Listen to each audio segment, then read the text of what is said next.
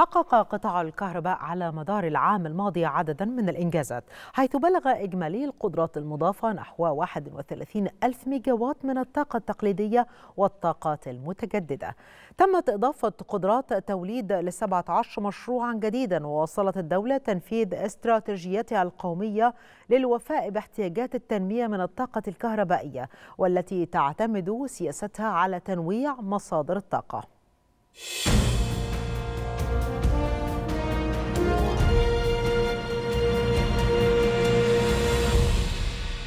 طفرة كبيرة شهدها قطاع الكهرباء خلال العام المنقضي رغم التحديات العالمية المتلاحقة وذلك بفضل اتخاذ عدد من الإجراءات والسياسات الإصلاحية بقطاع الطاقة في إطار استراتيجية شاملة تضمن تأمين الإمدادات والاستدامة والإدارة الرشيدة. فخلال عام 2022 اتخذ قطاع الكهرباء العديد من الخطوات التنفيذية لتحقيق التحول الكامل إلى مرحلة أكثر استدامة لقطاع الكهرباء. الكهرباء لتحقق تأمين التغذية الكهربائية لمجابهة الزيادة المضطردة في الطلب على الطاقة الكهربائية وتلبية متطلبات التنمية الشاملة المستدامة.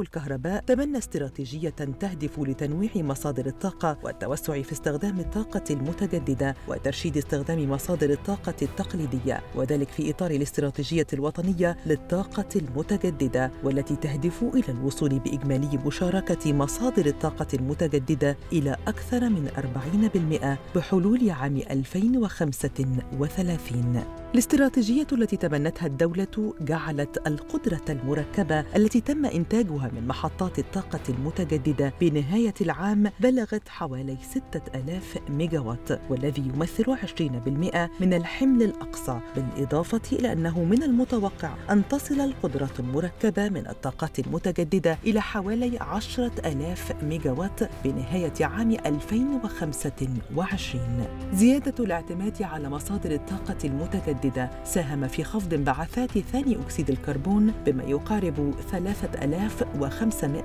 ألف طن ثاني أكسيد الكربون وإحداث وفر في الوقود يقارب 1430 ألف طن مكافئ نفط. فالقطاع يولي أهمية كبيرة للهيدروجين ويسعى بقوة للدخول في هذا المجال من خلال مشروعات جديدة ومن خلال إعداد استراتيجية وطنية متكاملة لإنتاج الهيدروجين باشتراك القطاعات المختلفة بالدولة بهدف امتلاك مصر القدرة في مجال توليد واستغلال الهيدروجين ومواكبة التطور العالمي في هذا المجال. وخلال العام المنقضي أيضا وقعت مصر على 16 مذكرة تفاهم لإنتاج الهيدروجين الأخضر وكذلك الأمونيا الخضراء مع أكبر التحالفات العالمية والمحلية لتستهدف إضافة أكثر من 100 ألف ميجاوات خلال عشر سنوات وتسهم في خفض 37 مليون طن سنويا من الانبعاثات الضارة.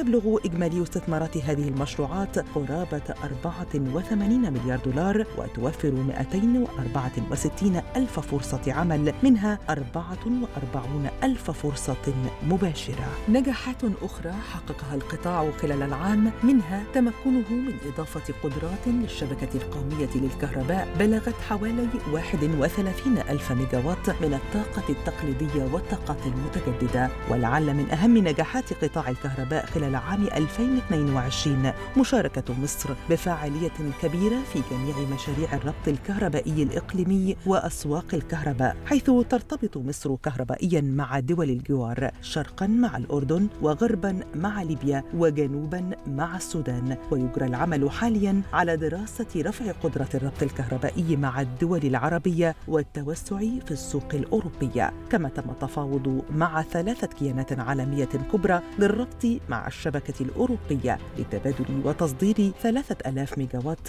من خلال خط ربط كهربائي بحري بين مصر وقبرص واليونان. لتعتمد استراتيجية وزارة الكهرباء على التحول من الشبكات التقليدية إلى الشبكات الذكية وترتكز الرؤية المستقبلية لقطاع الكهرباء المصري على التحول التدريجي للشبكة الحالية من شبكة نمطية إلى شبكة ذكية.